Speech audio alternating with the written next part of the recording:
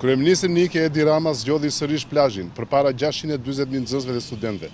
Ai vazhdon të heshtë, nëse qeveria ka ndonjë plan për hapjen ose jo të shkollave në shtator. Reagimi i ministres së tij të Arsimit ishte anemik.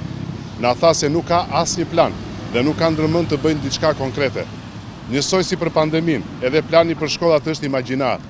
Ministrja nuk na tha se si do të bëhet mësimi online, do të bëhet në klasë apo i alternuar. Nuk na tha, me pak fjalë, mësuam se gjithçka do të improvizohet në minutën e fundit.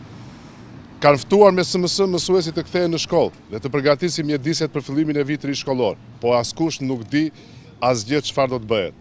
Ministrja e Arsimit nuk ka nxjerrë asnjë udhëzim, përveç datës së fillimit të vitit të ri shkollor, për mënyrën se si do të fillojë mësimi, online, në klasë apo në kushtet e distancimit fizik apo i alternuar.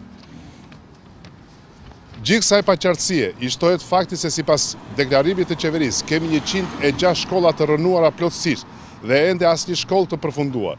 Gjendja është edhe më shqetësuese, po të kemi në konsideratë faktin se shkollat e rrënuara ndodhen në qendrat më të mëdha urbane, aty dhe ku numri i nxënësve është më i madh.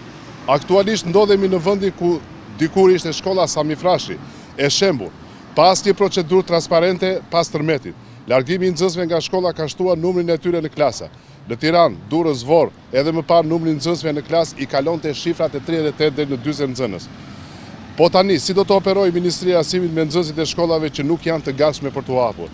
Sipas një llogarie të thjeshtë, janë më shumë se tetë mijë nxënës që mësonin në shkollat e shkatërruara nga tërmeti. Me pandeminë, situata është rënduar edhe më shumë për shkak se qeveria nuk ndërtoi asnjë shkollë të re deri më tani.